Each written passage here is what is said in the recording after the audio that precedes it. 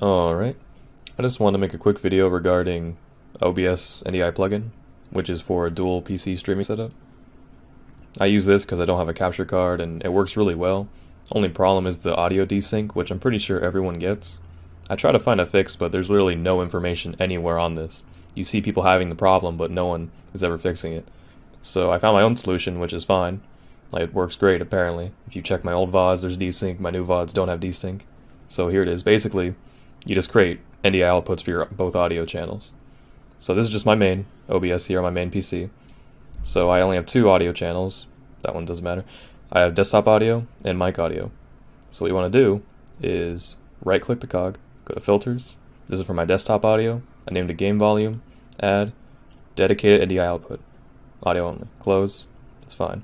Then mic one, filters, do the same thing, add, dedicate NDI, mic volume, close. Okay, now let's pretend you're on the streaming PC. I'll just go make a new scene, just, you know, pretend this, okay, yeah, your streaming PC should look like this, kind of, just blank slate. Except for here, it would have the OBS main audio, whatever you named it. So yeah, you're gonna just add, usually you just add another source. So just, this is exactly what you do. You add your main footage, highest internal, press OK. Now you have your NDI source.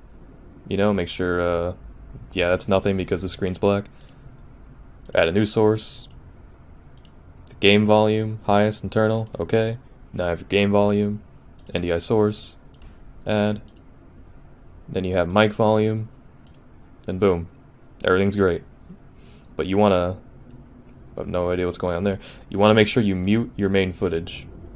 That's about it. So you should only have two audio channels, your desktop and your mic. That's the only audio you should have. Make sure everything else is muted just you know drag the bar all the way down. So yeah, that's about it. Pretty sure it fixes the audio desync. I haven't had any since I did this, so yeah, just add individual sources for the audio and mic, for the game volume and mic, and then mute your main OBS and should be fixed. All right, that's it. Thank you.